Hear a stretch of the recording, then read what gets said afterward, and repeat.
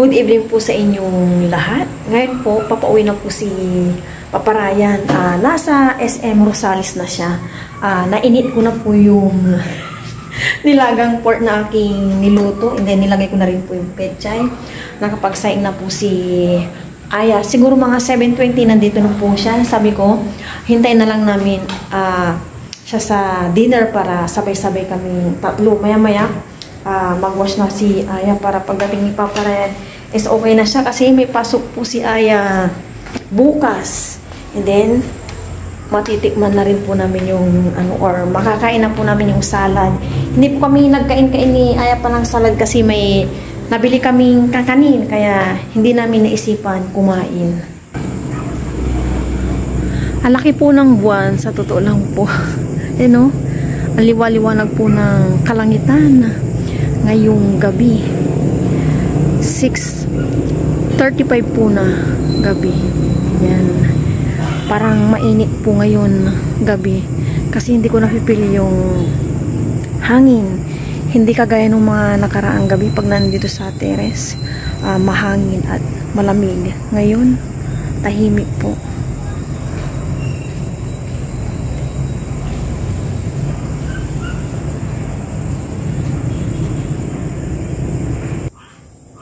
Grabe ang init po talaga. Bumaba na ako. And then si Aya, pinag-wash ko na.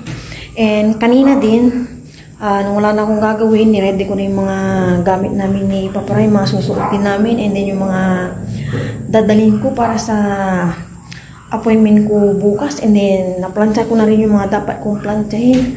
Pati kay Aya, na-ready ko na. Ah, pati pampalit ni Aya sa mga ano sa hapon ba kasi ano ma-late kami ng uwi. So ibibilin ko sa sa nanay ko bukas. Para walang problema. Ni-ready ko lang dapat kung i-ready kay Aya. And then maaga na naman pablising as usual. Ito yung buwan. Sabi ko nanonood na sila ng balita oh. tapos na siguro silang nag-dinner. Ay lumabas ako para magpahangin. Pero as in walang hangin oh kita nyo po yung mga halaman oh, hindi gumagalaw oh. oh wala talaga mainit ang gabing ito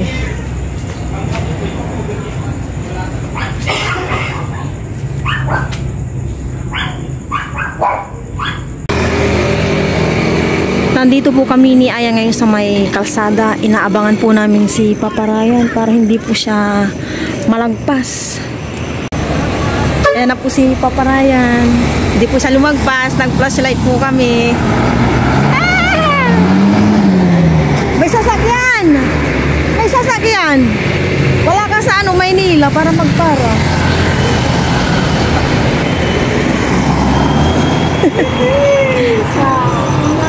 para hindi ka malagpas ah.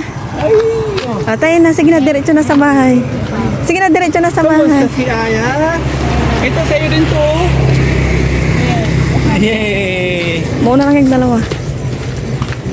Nagpinawayan tayo. Hello po. Yan, nandito na po kami sa bahay. Pagpapahingayin ko muna si Papa Ryan bago kami kumain. Sabi niya 7.20 pero 7.15. Kiss mo. Worth it ba yun ano? Kiss mama ba yun din? Worth it yung ano pag ano namin ng flashlight. Hmm, worth it. Yan, pahinga ka muna and mamaya kakain na tayo. Ito yung mga pasalubong ni Papa Ryan sa amin. Ayan, buko pie and ito pang munggo and donut ni Aya. Premium daw niya. Matataas na grade. Yung grade si Aya. Mm, tamis. Kumakain na po si Papa Ryan ng macaroni salad. Sila muna at kasi may gagawin pa ako. Ano yung kinakain mo ya? Ah? Ah, Thank you. Mmm, sarap. Sakto lang yung lasa. May cheese yan. Sarap yung kakagawa. pati manuto pa.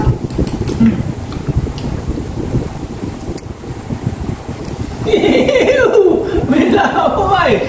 Ew! Sa hindi po nakakaalam, si Aya is very very close po kay Papa Ryan. Pag off cam po siya, super duper close po sila. And pag ano, binibigyan ko po sila ng time na dalawa para yung wala po si Papa Ryan, mapunan po yung pagkukulang niya kay Aya.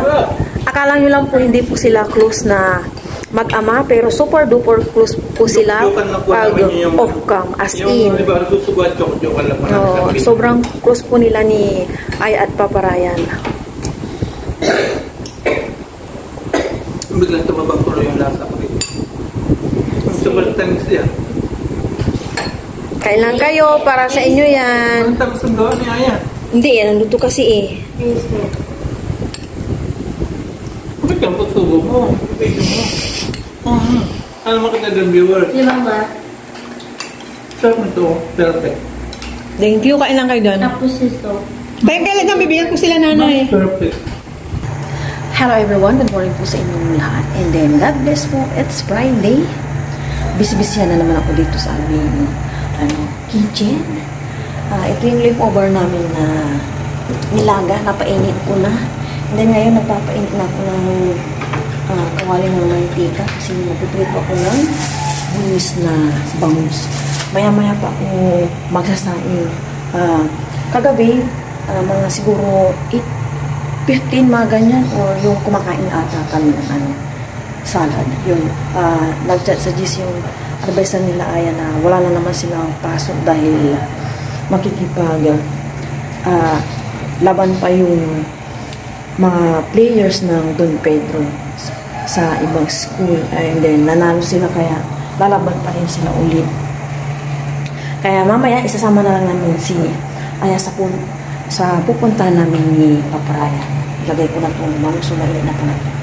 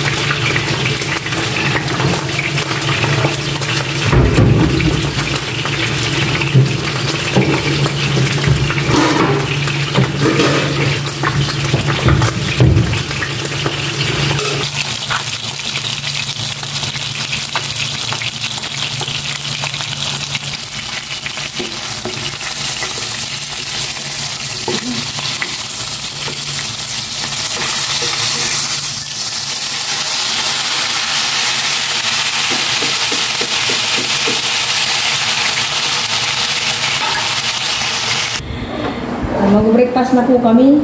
Ito na lang daw yung aming ulamin ni Aya nilagang pork. Yung bulis na pinirito ko kaninang bangus.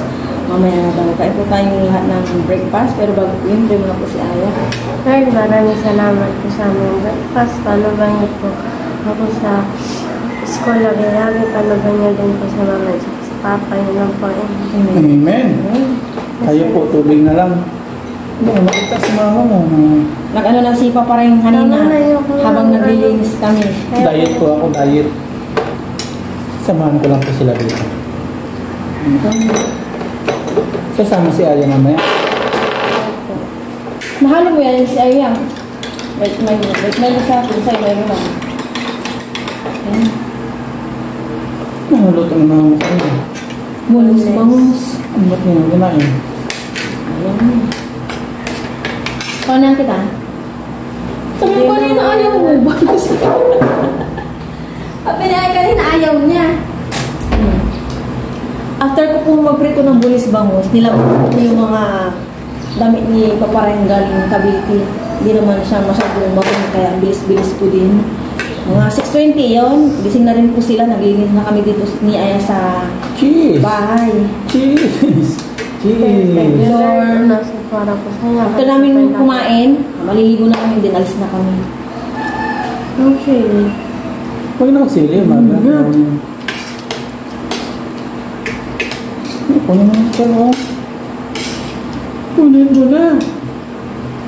Mabuto pala yun. May kutsara. Serving spoon.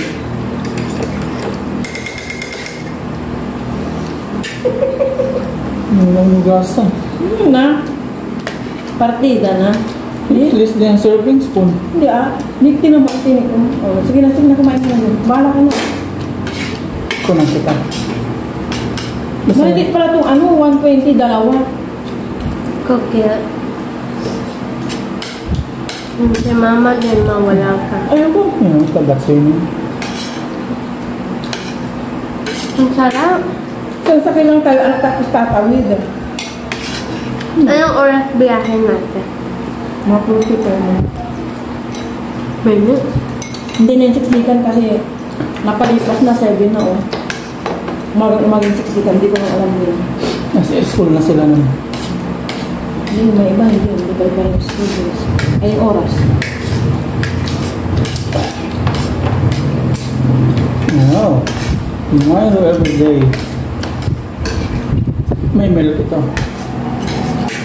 Hindi na milk lang. At Milk ano? dapat si mama din kakape. Tea or milk na lang. Para Milk, yeah. mabilis gumaling. Tigas din ulo ng mama eh. Hmm. Ang hypertension, ano, palpitate, hindi mo naman. Bihira ka Hindi yun. Masama sa katawan din ng kape. Umaaliwasan para mabilis gumaling. Yung mga 3 in 1 yan. Pero tinitimpay eh. Pero sa Taiwan, 3 years ako nag 3 in 1. No choice po eh. No choice. Natiis ko. Ang tamis-tamis pala. Ngayon ko na-realize nung matanda na ako. Magpo-40 na po ako next year. Minupos na. Wala na. Ito wala alibiliana, may sakit din na ganito eh. Parang naminipos na namin ata eh. Nakukuha daw sa pag ano, pag-ili. Pag-ili ng sa bata. Tapos yung sinasabi ni Doc na jeans, sa lahi-lahi. Baka nga kasi, pero posible naman din. Hindi sa pag-ili. Oh, karamihan mga babae meron ganyan. Pero sabi naman ng doktor, hindi, tinanong ko yun, hindi daw. Yun, yun. Sabi ng doktor ah, hindi daw. May bawang ah. Yun yung lahat ng sinasabi ng doktor, tama. So, yung iba, sinataningan nila. Hindi naman kakatutuyo ng taning.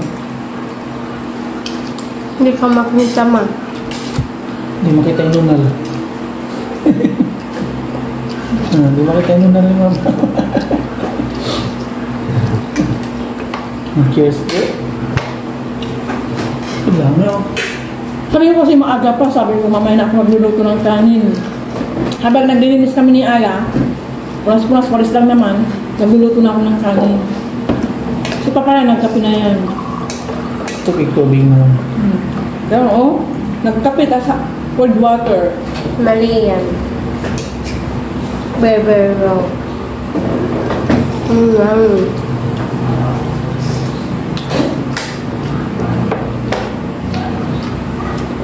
Init.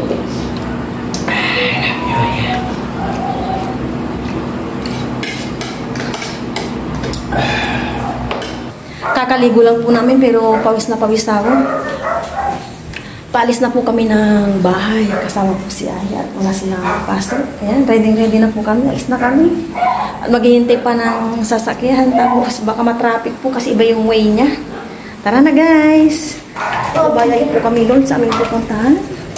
Nakauwi na po kami eh, nakabihis na si Aya ako sa pangbabalang mamaya na sa pangtaas. Si Paparaya nag-prepare ng aming ano pang lunch, late lunch na po kasi nadili-dili yung aming pag-uwi. Dapat ah, nandito na kami ng mga 12 kaso ano na, quarter to 1. Buti na lang nag-breakfast kami ng ano kanina ng rice. Si Paparaya lang hindi siya nag-breakfast. Kaya magutom na, kakain na po kami. Panoorin nyo na lang po sa vlog ni Paparaya yung mga ibang detalye.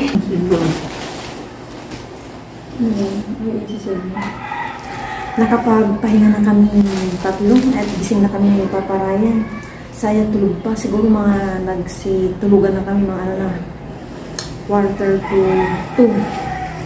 Ngayon, sama niyo po ako mag-unboxing ng bedsheet. Bedsheet to. sa amin ano ni Papa Ryan. Kasi napansin ko, tsaka na ano ko pala, karamihan ng bedsheet namin kay Aya, pang bata. Sa amin sa parang wala akong bedsheet. So, naisipan kong mag-order pa kasi tatatlo na yung bedsheet namin. Sa amin doon yung papalaya na, yun na, ito yung ano. Ito yung daw no, ano, nulo ko, no gusto Ito yung, in-order ko siyang kulay. Ah, galing-galing pa yung texture niya. Double, ano lang siya, Dumi. double size, ha? Maganda rin kasi yung kulay ng ating room. And then yung ano, yung sa may bed, ha? Hmm. Maganda to. Hindi naman dumihin kasi lagi tayong nagawa siya pa. Hindi naman dumihin kaya kung tutusin every week tayo nag, ah, ano, ah, nag papalit ng bedsheet or every two weeks. Ang ganda po niya o full garterize. Wait lang. Ito oh. 330. Ang nanay ko ang nagbayad pa eh. Pero nabayaran ko na. Si ko ang nakareceive kasi wala namang ano, tics yung Shopee. Ay, patama. Ayan oh. Parang ganda yan. Hawakan mo sa may dulo. Yan, ang ganda niya. As in. Yung sukat, isa na sukat nito. Hmm. Pero saan yung ano dito? Ay, ito no. Yan, maganda po siya. Huwag ko kung cotton doon. Hindi naman ako marunong magtingin masyado ng cotton. Cotton ba to? Hindi. Hindi sa cotton. Plain lang po siya. Kulay niya is cream. Pero parang dilaw siya eh, no? Dilaw. Dalawang punda lang siya. Dalawa. Dalawang punda lang yan. Malaki din siya. Tama-tama. Malaki yung ano. Ah, ito lang pala siya. Wala kaya Ano? Mas better talaga yung may, ano no, zebra, no? May mga nagtitinda rin sa may bayan, kaya lang, hindi kubit yung mga, ano niya, yung mga design, yan. Mapili din ako sa mga design. Eh. Yan, mama, ilalabhan ko na yan. Para, ano na. Tapos etong pala, ah, 18 pesos. Wait first to. Galing palang Cavite lang eh. Huh? Cavite. Ito wait first to at si, sira na yung aking ano. Ano? Pang ano pala, lagayan ko ng mga ano. Parang mga lipstick, ganun. Ganda nyo. 18 pesos lang po siya. Not bad. Ito oh. Cream din yung pinili kong kulay, ano? Oh. Ah, pulbo, kakasya yung pulbo ata. Ito. Ito lang naman, mga importante lang po talaga yung aking ino-order. Pag nag-order siya yan, pinag-iisipan ko rin tapos saka nakako. Rose of Newman's lang. Yan. Kulay niya. Mamaya, since may ginagawa pa ako, yan ko to. Alabhan na. Dalingan naman itong labhan. Ang nipis pala niya. Manipis po siya. Oh, manipis yan. Manipis. Sana pa nagtitingin din ako sa bayan. Parang huli ko na yung order doon sa shop na yun ha. Kita yung ano, pundo. Iba pa yung punda, iba pa yung pundo ng una. Pero yung kagandahan nito, fully garterized na. Pero mga din namin ni Aya, fully garterized. Tatlo yung ano eh, dinala ko dito eh. Tatlo ba or apat yung galing pa ng Taiwan ng mga bedsheet ni Aya. Ito. Sa Taiwan, manipis naman. Hmm, ano dala ko? Taapat yun ni kay Aya. Dalis dito na. Sa amin talaga, kaya sabi ko, pag may ano, maluwag-luwag, order, order, ganito by month, hindi pwedeng pabigla-bigla, maubusan ng budget. Ano yung mga naka-ano naman? Oh, ito yung sa may, dito yung sa gilid, yan. Hindi mo na na to. Ito pang ano ko to, mga queen force. Bakit pa, ang ano pala niya? Made in China. Laki naman queen force na to. Made in China. Ito yun ah.